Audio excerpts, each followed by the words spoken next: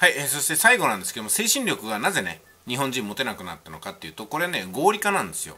合理化とか効率化が、まあ、入ってきてですね精神力がなくても簡単に結果が出せるようになってきたんですよ。フォーマットです。それはある意味いいことなんですよ。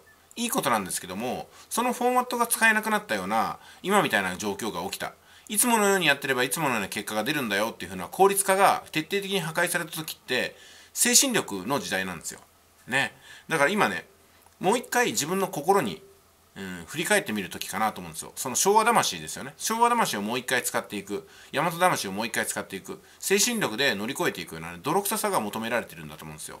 その精神力の源は何かっていうと家族を思い出すことだと思います、えー自分のね両親にこういう時だからこそ電話をかけて大丈夫かいって声かけてあげるとかね。俺は頑張ってるよみたいなことを言ってあげるとか。そしてお互いがお互いを安心させてあげる。ある意味ね傷を舐め合っていく時期なんですよ。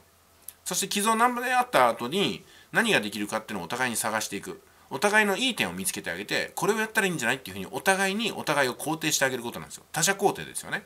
それによってこの難局を乗り越えていこうという力が出るはずです。人はですねやっぱり自分が認められて自分の力が期待されたらやってみようと思うはずなんですよ。ね。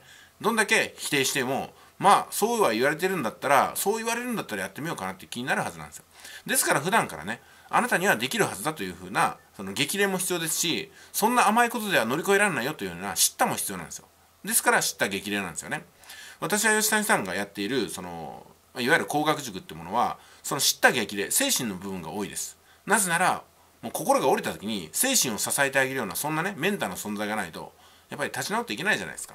じゃあこういう時にね私が折れてますか？吉谷さんがへこへこんで売れねえよとか言ってますか？売り上げ絶対作るでしょ。どういうわけか。えその諦めない精神です。月末例えば23日24日25日29日に迫っても売り上げが全然できてないよ。でも諦めないですよね。売れないからこそ売れるまでやるわけですよ、うん、心が折れそうだからこそその折れそうな心を死で支えるための精神力を持つわけなんですよ。流れに任せて折れたら折れるまんま売れなければ売れないまんまだと諦めの精神がどんどん助長されるだけだと思いますよね。えー今回はね精神論についてちょっと何回かに分けて語ってみました。皆さんねどのようにお感じになったでしょうか。私は誰よりも精神力がある人間だと思いますしある意味鈍感力があります。思考停止して無視することができるんですよ。自分の苦痛を無視するんですよね、えーこのねスキルはなかなか他の人には手に入んないのかなと思います。皆さんね自分の傷には敏感で人の傷には鈍感なんですけどもこれ逆にした方がいいんですよ。